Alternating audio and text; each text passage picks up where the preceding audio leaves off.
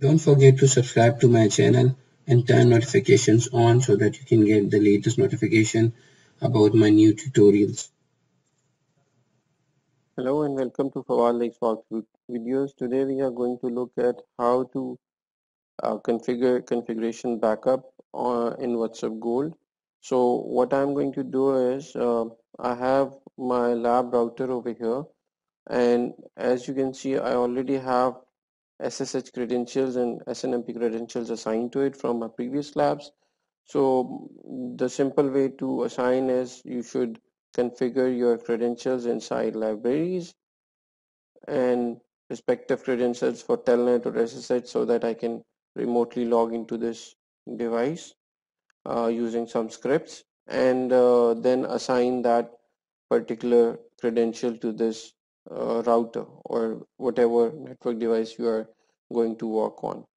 So to take the configuration backup of this Cisco router, um, we already have pre-built scripts which are available in configuration backup of WhatsUp Gold.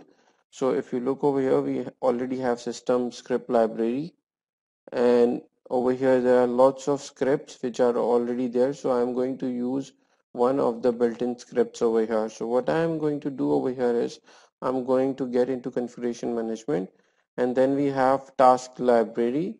So I'm going to get into task library and if you look over here we have Cisco running backup available over here. What you can do is you can add your own task. I am going to schedule a task. It would be considered as a scheduled task. Uh, I already have two scripts available so I'm going to take the startup configuration backup rather than running configuration backup. I'll name it anything like maybe Cisco um, startup backup.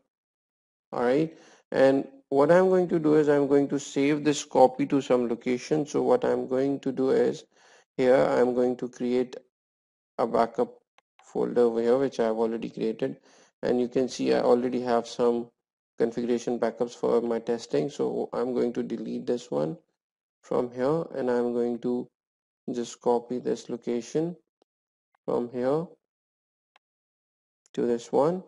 And I'm going to select the device. I can select a group of devices also but I'm going to select a device over here. So you can apply the same task to multiple devices at same time and I can schedule this task. If you look over here I have a capability to schedule this task to run on schedule basis. Um, and I can configure it according to these settings. And I can limit the number of backups to 5 or 10 so after those number of backups it will automatically override the first one.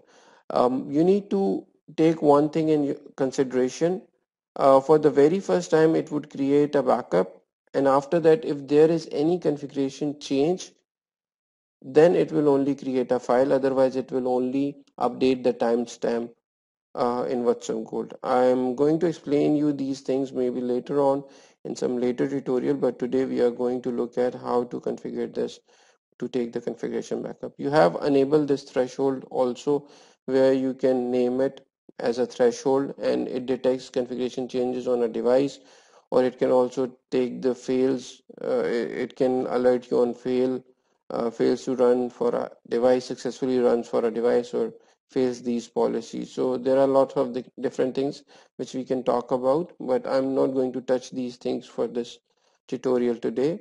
And then I'm just going to click OK on this. So my task is created over here if you look over here so what I can do is I can simply run this task and you will see my task will run over here and once it is completed I can simply go and see the results for this completed task. So if you see my task is completed now I can go and see the results. It says that it has succeeded on this router. My output result is something like this if you look over here and it has taken the configuration backup of my device. So now the script which it has run is something like this. It has send a login request then it went to enable mode. For Cisco ASA it has um, written no terminal pager and then this is something which I have done like I have um, used show start configuration these are some things which we are not going to talk about but these are very important things so we should not remove these things from here. And then I have sent a logout command in the script. So at the end of the day this was uh, sent to my router from here uh, as a script to run a task. So now to just show you how my configuration backup would look like I'm going to go into my drive. Or before that what we can do is we can go to device properties of this one.